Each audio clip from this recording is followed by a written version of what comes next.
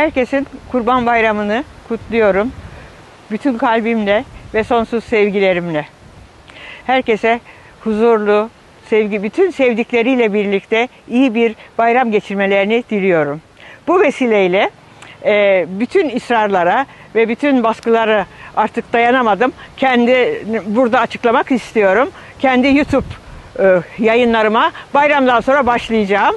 Her gü- gününüz güneşli olsun, bol denizli olsun efendim. İyi günler diliyorum.